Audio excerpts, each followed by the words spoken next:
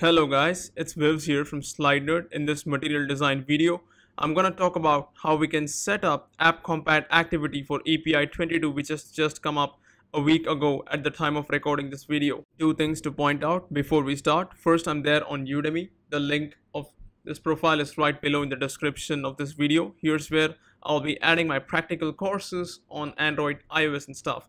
Second, if you go to my channel SlideNerd, if you go to playlist over here, you will notice that this video falls under the material design tutorial playlist along with the rest of the material design videos out here. There's also an iOS video series that we have started just now. Be sure to check that out as well. Alright, let's begin. My Android Studio is right now set up on the Mac. I'm going to use this Android Studio to import my existing project from GitHub.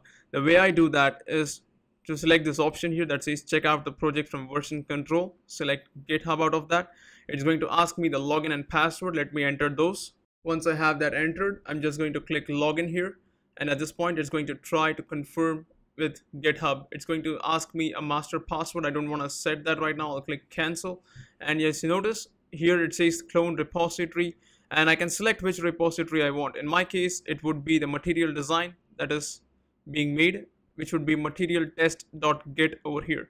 And it says the parent directory is user studio vivs directory name is material test. The parent path users vivs studio projects must exist. All right let's try to put it somewhere else. I will go to my desktop here create a folder here that that says android projects or android examples and try to put that inside that folder. So android examples. And of course i'll make sure that i don't have a space in between. Otherwise android studio complains about that okay there's already a folder with that name. Great I didn't know that. So Android examples is this folder here. I'm going to click choose. And once I do that it's gonna say clone. I'm gonna click the clone button up there and it says cloning the source. In other words it's simply going to copy everything that is there on github and bring it here. It says check out from version control. Would you like to open it? Yes. So once done my android studio opens and on the left window in the project section i should be able to see my app with all the things that I've been building so far right here. Once the app is started, just jump to your build.gradle file here on the left hand side. The second file which has the module app written on it is the one that we are interested in. So let's take a look at the contents of this file. You notice immediately it says appcompat v7 21.0. Now Android recently introduced a new update which is 22.0 point something and by the time you're watching this it's quite possible that the update has progressed further. So let's take a look at how we can use API 22 and what are the terms associated with that and what changes we need to make in our code to make 22 work on our devices. Before we start coding, the first place that I would like to take you on a tour would be the Android developer blogspot.in. If you take a look at this site here, they talk about the changes that have been made in AppCompat version 22 take a look at all these controls that they are talking about which include tint support and then there's your app compat activity. Now there are two options as per api 22 one you either use the app compat activity directly or two you use your normal activity but you use a delegate called the app compat delegate with that normal activity so that you can configure or put things together. Now this class app compat activity or the delegate is going to manage putting all the boilerplate code that you needed for running on the previous versions together in your material design. Before i make any changes here's the app running on all three devices at the same time.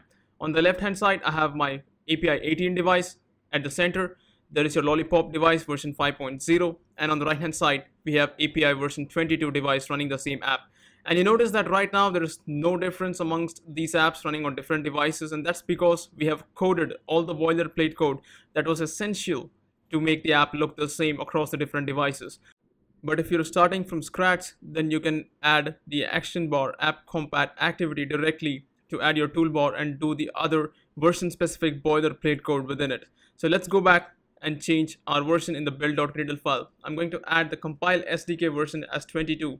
The build tools version is again going to be 22.0.1. Now make sure that you check what is the latest version for you at the time you're watching this video and go down further and have your dependencies where I've said compile blah blah blah. Here I'm just going to make it at 22.0.1 and with that we should be able to run stuff, right? And at the bottom here I get a message at this point that says a newer version of Android support app compat that is greater than 22.01 is available. That is 22.1.1. So let's go and switch it to 22.1.1. And at this point, I have to just click sync now at the top right corner. As you notice this option, and Gradle build is again going to run and try to build the entire project with the newer APIs that I just listed in the dependencies. The new process has been illustrated a bit more by Chris Banes on his blog here. Be sure to take a look at this post and I'll be adding a link to this post right below in the description of this video. The next post here covers the sequence of steps that, you need to run in order to get app compat activity working. Let's take a look at that. It says first add this dependency which we just did right now. Second it says make sure your main activity extends the app compat activity or if you use the normal activity, then go for the app compat delegate as well. And I will cover that shortly. Take a look at the manifest or style or theme changes at the bottom here. And then finally, we have the app theme running with the new version of the theme. And also it seems that you don't need a styles v21 folder anymore because the basic styles.xml file itself handles all the version specific code that you previously needed to make stuff work. So now on the left side, when I go to my app and take a look at the package activities here, I have a lot of activities out there. If you open any one of them, you will notice this message here that says android.support.v7.action bar activity is deprecated. And that's exactly the problem. We need to fix this with the new activity, which would be our app compat activity. Let's take a look at what the documentation of app compat activity says.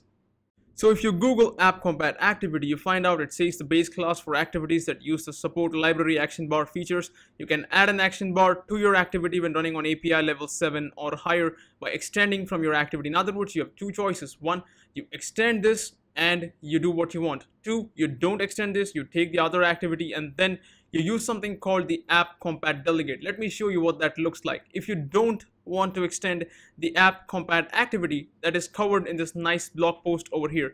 If you take a look, they first add the toolbar in XML over here. They modify the theme to support the theme.appcompat.noActionBar. Take a look at that. And they have used the color primary, color primary dark, color secondary, and other items of interest. Now, if you go to the main activity here, they have extended the activity class and they have implemented the app compat callback method. Now let's take a look at what this app compat callback is all about. You open the documentation for that. You notice it says implement this in order for app compat to be able to be callback in certain situations. Now take a look at those two methods out there and that's exactly what they are overriding over here. And they are saying let's leave this method empty for now. Once you do that, you have to mirror the methods of your activities life cycle. For example, you go here and you see delegate is appcompat delegate.create. Now it has a static create method out there. Inside that, you need to call delegate.onCreate, set content view, and set support action bar. That is the step that you're interested. Going back to our code, I'm going to replace the action bar activity with the app compat activity out here. Once the import is complete, you notice that I don't have to change anything out there. At the top, just make sure that you have the v4.app or the v7.app everywhere. And there's of course a package being imported two times here. Let me remove that. Once I've added the class, everything looks fine here. If you take a look on the left side for styles and see what changes that we need to make. I already have three styles.xml files. I'm not going to remove them because I'm using transitions in my video and at the time of recording this video, there is no post that talks about what changes are needed as far as transitions are concerned. In the meantime, if you do know what changes are needed, be sure to let me know in the comments below. And I'm not going to change anything else in the project, but if you're starting out for the very first time, then you can directly use the app compat activity or its delegate to get your stuff done. So before we wrap up, let me also show you what's going on inside the styles.xml file. There are two of them. There's a styles.xml and there's a styles v21.xml. Now I tried deleting the v21.xml. I was under the impression that transitions will be handled automatically, but that's not the case. If you delete this file, it contains settings about the transitions, the fade duration, and etc. So if you delete it, the transitions don't happen smoothly anymore. But on the other hand, if you notice, I have reduced the amount of clutter in this file by removing the color primary, color secondary, and other attributes which I have already defined in the styles.xml file. And you should do it the same way to avoid code duplication. Now one more thing to note would be that App Compat has added a new alert dialog here that lets you create the same looking dialog across different versions of Android device. All you have to do is use this frame layout if you want to add your own views to that layout and there are certain other properties that you can customize out there. And there are also controls like app compat button, app compat auto complete text view, and so on. Now the question here is when should you use them? It says here you should really need to manually use this class when writing custom views. Now, is that really the case? Do you think you should extend it when you're writing custom views or should you use it every time? I would like to hear about that from you guys in the comments below. So let's take a look at the app after the modification. It looks the same, it works the same. The transitions out here are still working and all the other features seem to work. Now transitions, note that I have made them very slow so that you can understand how the transitions work. So with that, I'm going to resume in the next video where I left off previously and that would be to go to our search tab and add our search view and let the user filter through the results and see them in the recycler view over here. In the meantime, go to Google, type SlideNerd Udemy. You will find our account where we add practical stuff, our social accounts on SlideNerd Twitter and SlideNerd Facebook. The code for this video and the rest of the videos is out there on SlideNerd GitHub. If you like what you saw, please like this video, share this video, subscribe to SlideNerd, and let us know your thoughts in the comments below. Thanks for watching. I'll catch you guys next time. Have a nice day.